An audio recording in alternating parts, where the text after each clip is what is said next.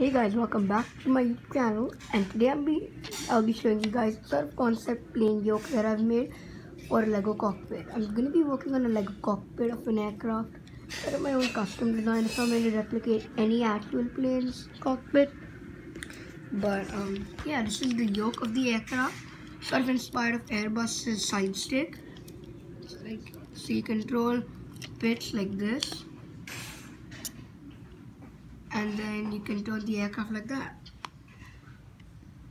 As you can see, I've taken this piece and sort of like done this, I guess, and you got this sort of turnstile, and you have another one at the bottom, which is a tire. But since the tire is so small compared to the base, you can like tilt it and stuff, and you can actually maneuver the plane. So like, let's let's example is you're taking off you pull back and the plane takes off. You want to turn that? Let's say we're coming in for another landing. Okay the runway's in sight.